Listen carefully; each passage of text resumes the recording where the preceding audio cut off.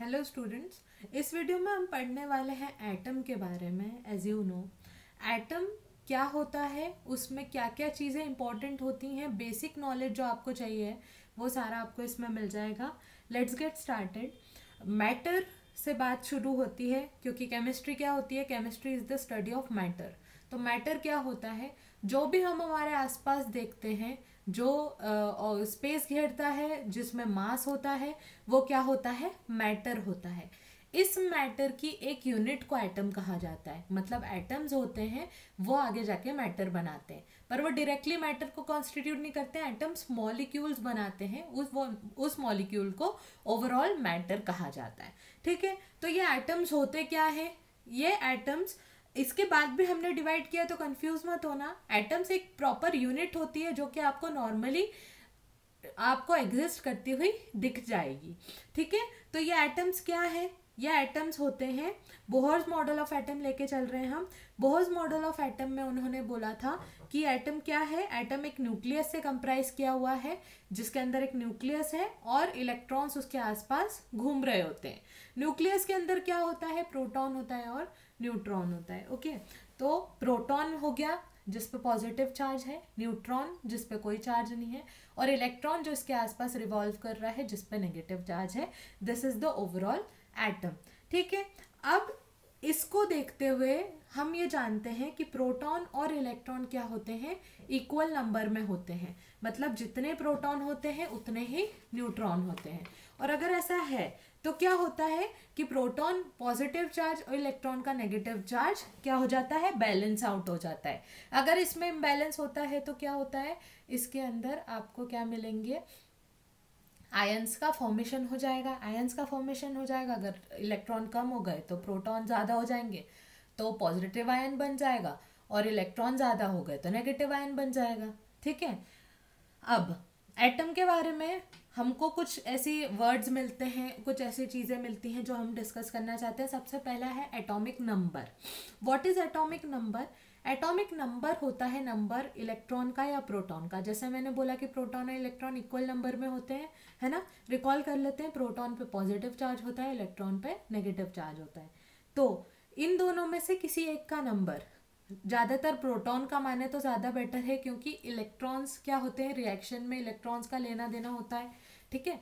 तो प्रोटॉन को माने तो ज़्यादा बेटर है कि नंबर ऑफ़ प्रोटॉन जितना होता है, उतना किसी भी चीज़ का एटॉमिक नंबर होता है, जिसको आप, अगर ऐसा सी ट्वेल्व लिखा हुआ है तो आप यहाँ पे सिक्स सिक्स सी ट्वेल्व बोलोगे तो यहाँ पे सिक्स क्या है? एटॉमिक नंबर है।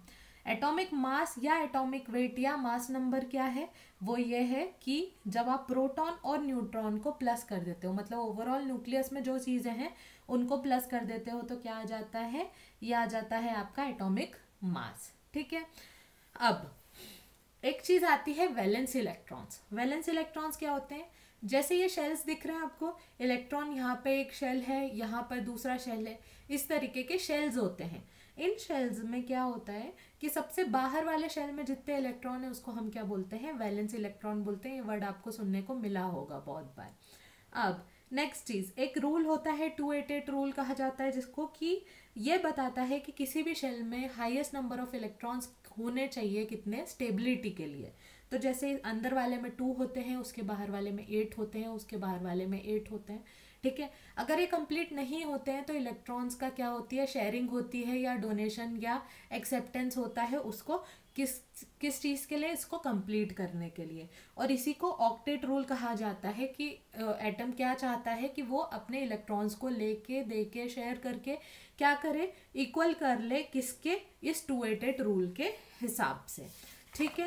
नेक्स्ट चीज़ आती है एटॉमिक साइज़ है एटॉमिक रेडियस ये क्या होती है? एटम के पूरे साइज़ को हम क्या बोलेंगे?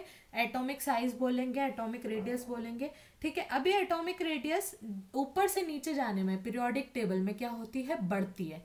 फॉर एग्ज़ाम्पल अपन ने पहला ग्रुप ले लिया. Sodium lithium potassium rubidium caesium ठीक है? तो ये इस तरीके से क्या हो रहा है? इसके अंदर क्या हो रहा है? इसके अंदर सीजियम तक साइज़ क्या हो रहा है? बढ़ रहा है। अब जैसे जैसे शेल बढ़ते जाएँगे शेल बढ़ते जाएँगे मतलब वो जो सर्कल्स में जिसमें इलेक्ट्रॉन्स घूम रहा है, वो बढ़ते जाएँगे तो ऑब्वियसली साइज़ बढ़ता जाएगा। लेफ़्ट से राइट जाने पे प्रोटॉन और इलेक्ट्रॉन्स बढ़ते हैं। जब प्रोटॉन्स और इलेक्ट्रॉन्स बढ़ते हैं तो उनके बीच का अट्रैक्शन फोर्स भी बढ़ता है, जिसकी वजह से साइज़ कम होता जाता है। तो इसको कहा जाता है पीरियोडिक ट्रेंड्स पीरियोडिक टेबल में किस तरीके से चेंज होता है? अब एक और वर्ड आता है इलेक्ट्रॉनिक कॉन्फ़िगरेशन आपने पढ़ा होगा अगर तो। आ, ये इलेवेंथ क्लास में स्टार्ट होता है पढ़ाना। तो इलेक्ट्रॉनिक कॉन्फ़िगरेशन क्या होता है? इलेक्ट्रॉनिक कॉन्फ़िगरेशन बताया जाता है इलेक्ट्रॉन्स किस तरीके से प्रेजेंट है। उसके पहले हमको ये जानना पड़ेगा कि एटॉमिक ऑर्बिटल्स क्या होते हैं। एटॉमिक ऑर्बिटल्स होते हैं एस पी डी और एफ़ क्या होते हैं? जहाँ पर एटम के अंदर इलेक्ट्रॉन्स के होने की पॉसिबिलिटी सबसे ज़्यादा होती है उसे हम क्या बोलते हैं? एटॉमिक ऑर्बिटल्स बोलते हैं। उसकी कैपेसिटी क्या है? एस में टोटल दो आ सकते हैं पी में सिक्स आ सकते हैं डी में टेन आ सकते हैं एफ़ में फोर्टीन आ सकते हैं। तो इनमें इलेक्ट्रॉन्स को फुल्ली फिल करके क्या करना चाहता है कोई एक एटम स्टेबल होना चाहता है। तो इसकी एक सीरीज़ है जो चलती है one s two two s two two p six three s two three p six four s two three d ten and आगे चलती जाती है। इस सीरीज़ को प्लीज़ याद कर लीजिएगा, ये बहुत ज़्यादा इंपॉर्टेंट है, काम आएगी आगे। अब, ये कार्बन है जैसे for example atomic number six atomic number six मतलब इसमें प्रोटॉन कितने होंगे? छः ठीक है? अब, इसमें हम इसके अंदर फिलअप करेंगे तो ये हो जाएगा वन एस टू दो हो गए टू एस टू दो और हो गए टू पी कितने छः आ सकते हैं, पर इसमें कितने बचे हैं? छः के हिसाब से दो टू पी टू वैसे ही फोर्टीन को फिल करेंगे तो इस तरीके से फिलअप होता है, इस तरीके से इलेक्ट्रॉनिक कॉन्फ़िगरेशन बनती है। अब, हमने ये देख लिया कि एटम को ऑक्टेट बनाना होता है तो वो क्या बना लेता है? मॉलिक्यूल बना लेता है। जब दो एटम या दो से ज़्यादा एटम जुड़ जाते हैं बॉन्डिंग के थ्रू तो उसको आप क्या बोलोगे?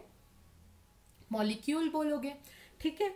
Ions adding removing of electrons ये मैं बता चुकी हूँ पहले। ठीक है? तो इस तरीके से एटम क्या करते हैं? मॉलिक्यूल्स या आयंस बनाते हैं। इससे रिलेटेड आपको अगर वीडियोस चाहिए बॉन्डिंग से रिलेटेड या आयन से रिलेटेड तो ये आपको नीचे डिस्क्रिप्शन में मिल जाएगी। एक और चीज़ है जो हमने पीरियोडिक टेबल के बारे में बात करी थी कि एलिमेंट एलिमेंट क्या होता है? सेम टाइप ऑफ़ एटम्स एक जैसे एटम्स जब प्रेजेंट होते हैं तो उसको हम क्या बोलते हैं? एलिमेंट बोलते हैं।